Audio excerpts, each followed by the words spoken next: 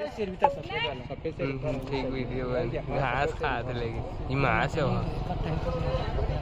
मारना होते हैं मेरे बूट के ऊपर